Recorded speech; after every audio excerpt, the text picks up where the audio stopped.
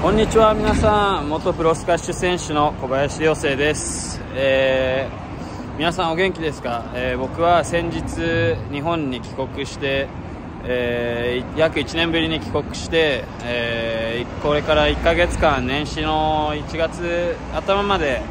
えまあ、仕事と、え休み半分半分ぐらいで、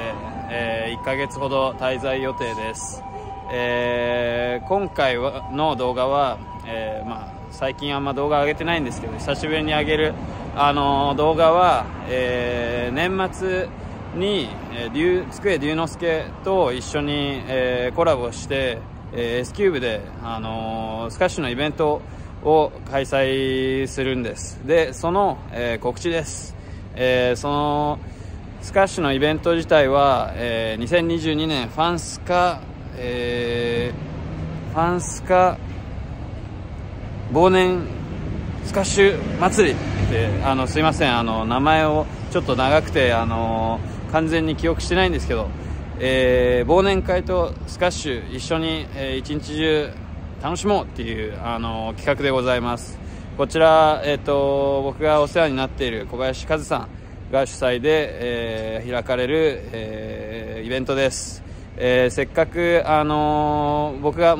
日本に戻ってくることはなかなかなくて龍之介もあの最近 PSA で頑張っていて2人がこうやって揃って、えー、イベントすることはあの本当にあの、まあ、偶然だし、えー、あまり機会ないと思うので、えー、皆さんぜひ、えもし興味があったら、え参加してください。テーマとしては、え僕が、えタッチ系ドロップボーストニックなど、えー、タッチ系の攻撃ショット攻撃的なショットを、え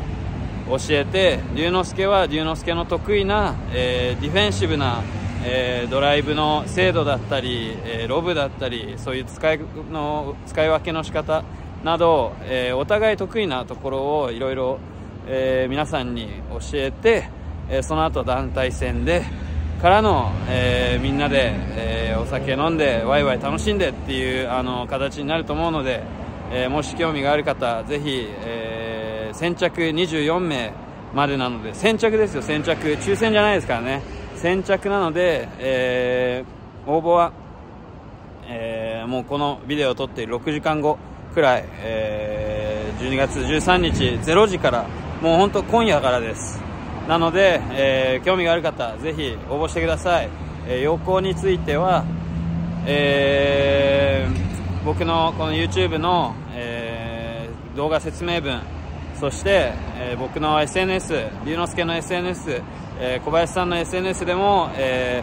ー、発表されると思うので、えー、そちらを、えー、見てください、えー、僕に直接コメントえー、いただいてもいいですし、えー、僕の SNS に直接メッセージ書いてくれてもいいです、あのー、ぜひよろしくお願いします。こんな機会はなかなかないと思うので、えー、僕たちも素晴らしいイベントにしていきたいのでよろしくお願いします。すいません。あの